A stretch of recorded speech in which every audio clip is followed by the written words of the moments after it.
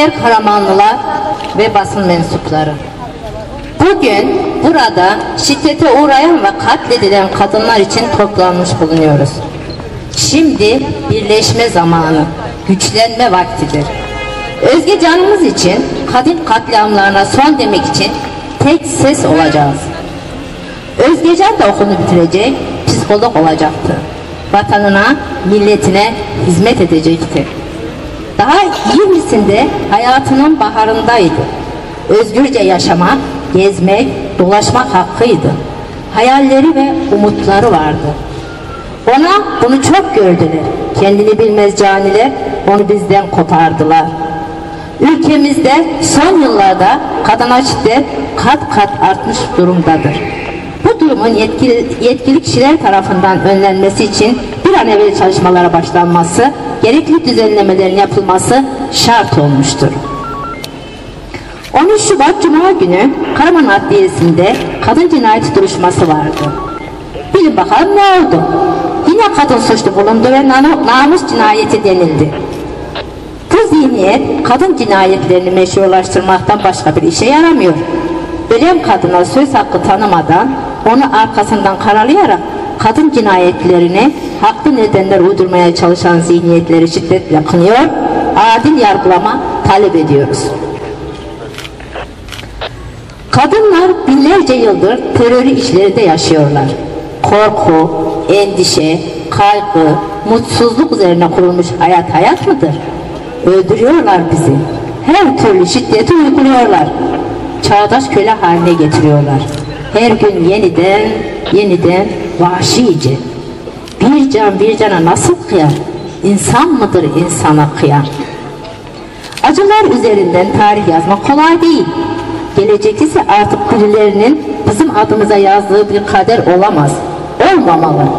En temel hakkımız olan yaşam hakkımızı elimizden alan mevcut yapı tarafından pompalama sistemi karşı, sistemine karşı kadını ikincileştiren zihniyete karşı topyekün mücadele etmemiz gerekiyor. Bu vicdani ve derin bir meseledir.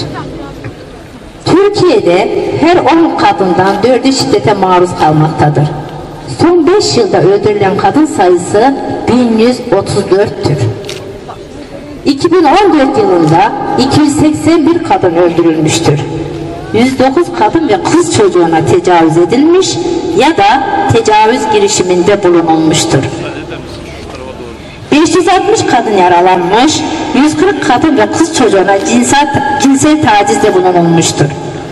Kadına yönelik şiddet, çocuk gelinler, ensest gibi konular yaşamdan önemli sorunlardandır. Bu sorunlarla ilgili yasal düzenlemeler yapılsa da uygulamaya konulmamaktadır. Şiddetin ve cinayetin önüne geçmek için samimi bir çaba görülmemektedir.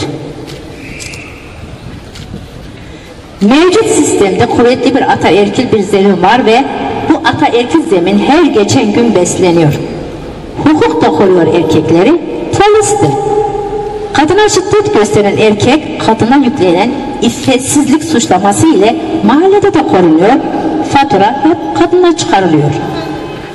Kadına yönelik şiddet haberleri sıradanlaştırılarak, dramatize edilerek veya normalleştirilerek verilmektedir.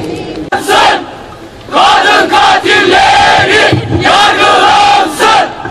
Kadın Bugün burada Sevgililer Günü'nde milyonlarca kadının tecavüze karşı sokağa döküldüğü bir ülkede yaşayan bir erkek olarak konuşuyorum. Onlarca genç kızın acımasızca tecavüze uğradığı bir ülkede yaşayan bir genç olarak konuşuyorum. Onlarca annenin dövülerek katledildiği, çocukların öksüz bırakıldığı bir ülkede yaşayan bir ana evladı olarak konuşuyorum. Konuşuyorum, yaşıyorum ama utanıyorum. Bir annenin çıkıp da kızım çok acı çekmişti. Keşke kurşunla öldürselerdi dediği için utanıyorum. Kadın ise o iffetli olacak. Herkesin içinde kahkaha atmayacak diyenlerin olduğu için utanıyorum. Örtüsüz kadın perdesize benzer, perde size ya satlıktır ya kiralıktır diyenlerin olduğu için utanıyorum. Bir erkek olarak gerçekten utanıyorum. Kadının kıymetini bilmeyenlerin olduğu bir ülkede, kadını aşağılayanların, kadını ihtiyaç olarak görenlerin, köle olarak görenlerin yaşadığı bir ülkede yaşadığım için utanıyorum. Kadın konuştu.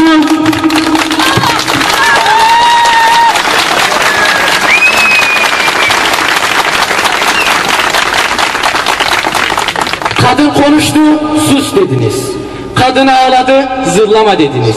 Kadın oy kullandı, boş iş dediniz. Kadın dayak yedi, hak etti dediniz. Kadın hakkını savundu, kadın kısmı diyerek başladınız cümleye. Erkekler hep konuştu fakat kafayı şişirerek kadınlar oldu.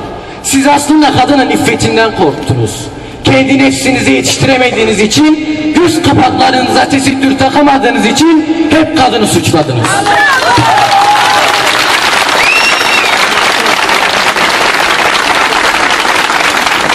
Kadın ne biliyor musunuz? Kadın anadır, yardır, sevgilidir, umuttur. Kadınsız yaşam olmaz, kadınsız yurt olmaz, kadınsız mücadele olmaz. Bunu anlayın artık. Zihniyetinizi değiştirin artık.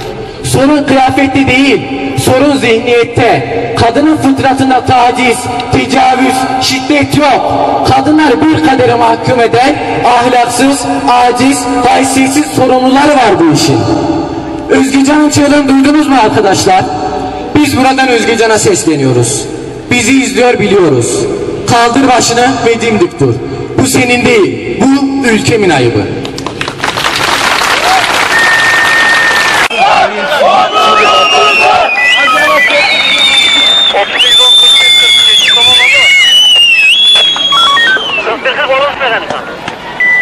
Tamam kaldırıma geçtikleri anda e, yavaş bir şekilde açarsınız trafiği. 41 40 emir anlaşılır.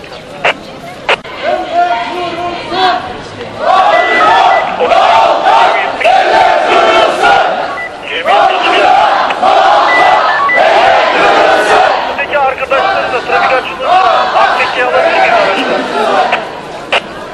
Anlaşıldı. Ya da direkt Molla Fedari'den geçebilirsiniz efendim. Direkt oraya hareket ederseniz orada bir usulümüz olur.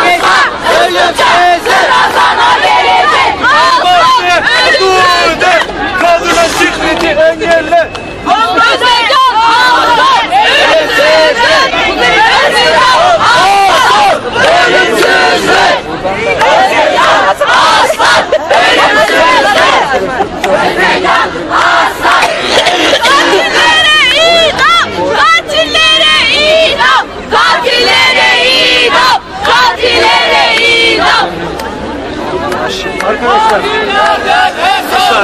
Devletçiler soracak, partilerden hesabı.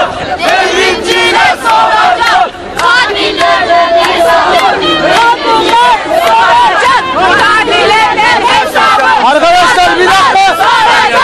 Partilerden hesabı. Erkek koruyor, devlet koruyor. Erkek koruyor, devlet koruyor. Erkek koruyor, devlet koruyor. Şimdi Özge canımızı biraz önce bahsettik, hep bahsediyoruz. Kıyanlar bizim bu arada bu şekilde toplanmamıza vesile oldular. Kadına yönelik şiddet gün geçtikçe artıyor. Cinsel içerikli suçlar artıyor. Tüm Türkiye'nin sorunu. İlimizde de az da olsa bu problemler yaşandı. Bu problemler yaşandı. Şimdi e, gerçekten bu duyarlılığı hep beraber paylaştık. Hiçbir siyasi içerik olmadan, siyasi düşünce olmadan bu duyarlılığın arkasında bu kitle bir araya geldi. Hepinize teşekkür ediyorum. Bu duyarlılık biz inşallah inşallah